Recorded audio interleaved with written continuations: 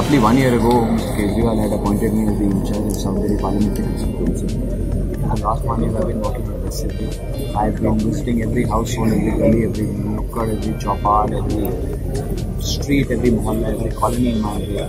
And I've established a connect with uh, every voter family in my area. Well, absence of resources, lack of funds impacts one's campaign, there's no doubt in that. In my constituency, for example, it's the people of South Delhi who want to defeat Ramesh Bidhuri. It's not merely Aam Aadmi Party or myself. And therefore, people come in, people campaign, people people fund the campaign, people fight the election, people ultimately win. People fund.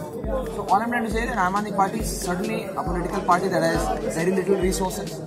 Aam Aadmi Party is a political party that is funded by clean money. But Aam Aadmi Party is also a political party that the people of this country wish to contribute towards from their hard-earned money in order, in order to ensure the survival of clean politics.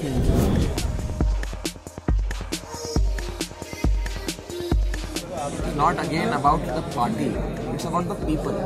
If people want Aam Aadmi Party to come to a particular state and fill the political vacuum, then they will ask, then they will ensure that Aam Party is there in that area. For example, in Haryana, it's the people of Haryana, uh, of Haryana that have built a robust organization and are now going to fight the election. In Punjab, it's the people of Punjab who have built a robust organization and are going to fight the election. So it's about the people.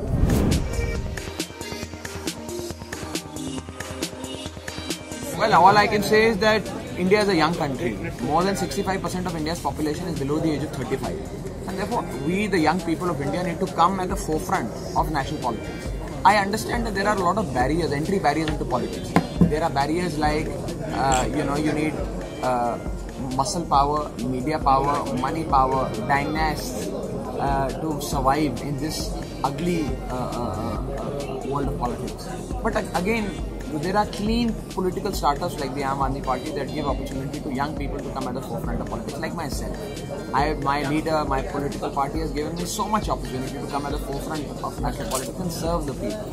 So therefore, one must consider joining politics not as a career, but as a medium for serving the people.